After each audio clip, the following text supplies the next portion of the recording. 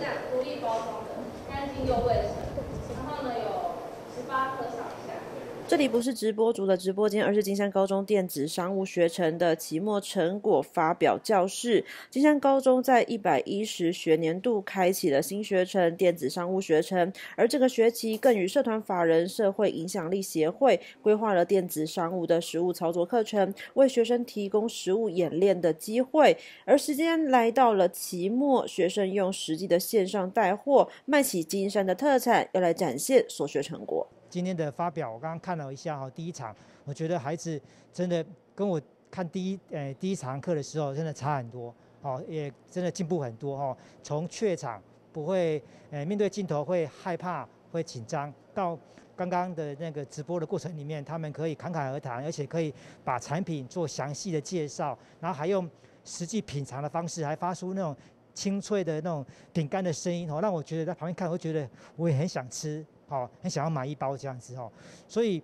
这样的课程可以让孩子真的展现他的他的实力，跟老师所教导的一些一些课程的一个精髓哈。那这个课程也结合了我们金山老街商圈的这些商家哈，那也感谢商家的这些老板哈，跟愿愿意跟我们合作哈。那虽然说只只是一个这样一个成果发表哦，那我们期待说。这个课程能够永续经营下去哦。除了因为电子商务是当前最红的商业模式，金山高中还希望孩子们可以透过电子商务带动地方的产业，而学生也寻找到老街以及在地的商家，先进行采访，了解店家的理念以及产品特色，借此在实际的线上卖商品的过程当中，能够精准的说出特色以及必买的原因，让课程。跟地方的经济能够紧密的结合在一起，那发挥金山高中在金山地区一个教育的力量，也能够让家长，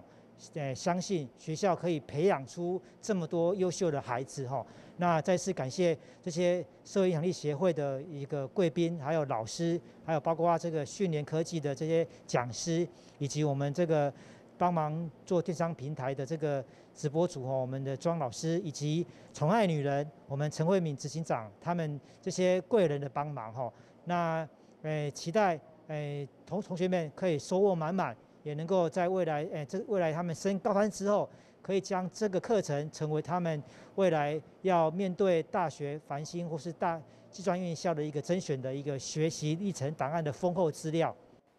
短短一个学期的实物学习，学生们在线上卖货中分工相当仔细，有负责摄影、负责设定线上直播、负责当直播主，还有小帮手。金山高中也期待透过电子商务的学程课程，理论与实物相互结合，并且持续深化，要让学生先储备完整的电商技巧，未来能够更顺利的与业界接轨。据赵平涵金山采访报道。